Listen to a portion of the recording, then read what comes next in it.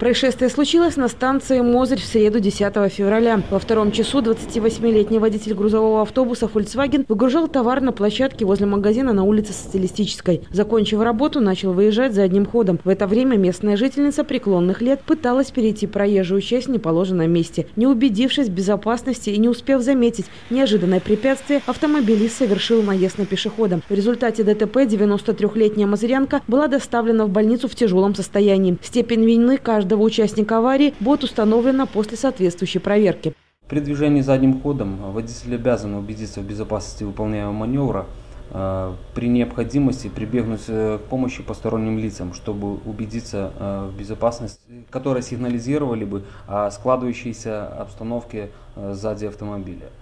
В данном случае можно расценивать вину как водителя, но и частично и пешехода в том, что должны быть внимательны и тот, и другой.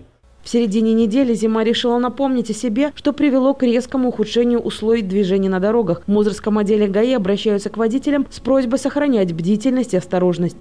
В связи с резким ухудшением погодным условиям сотрудники ГАИ Москороды рекомендуем всем участникам дорожного движения воздержаться от э, нахождения на проезжей части дороги. Сотрудниками также проводится мониторинг всех дорог Мозырского района.